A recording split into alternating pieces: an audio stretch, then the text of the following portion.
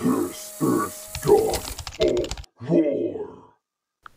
Hey guys, welcome back to the channel. This is Lucky Zulueta Entertainment and I'm gonna show you guys my settings for God of War. So this is for the PSP.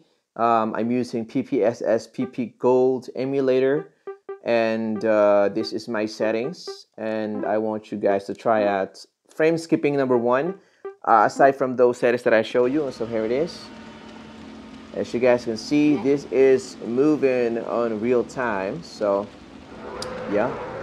I hope this also works for you guys. So by the way I am using a Samsung Galaxy S8 Plus. This has been around since like 2016 however guys this is a flagship phone and uh, I really love the quality of this phone because it has it, although it's it's like a limited edition or maybe they're they, they are not producing this phone anymore however guys I hope it it's gonna be working for pretty much all the device which is present on the, this year 2024 so, so I'm sure that technology has really advanced really quick and I'm sure you guys um, will gain something really uh, enjoyable using this setting. So I hope you guys will enjoy and Let's go. here it is. Yeah.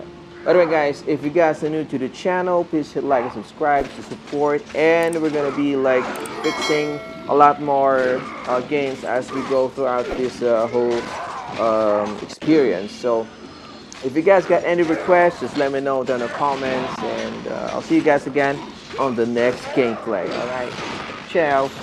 God bless. Cheers. Thank you. Yeah, let's get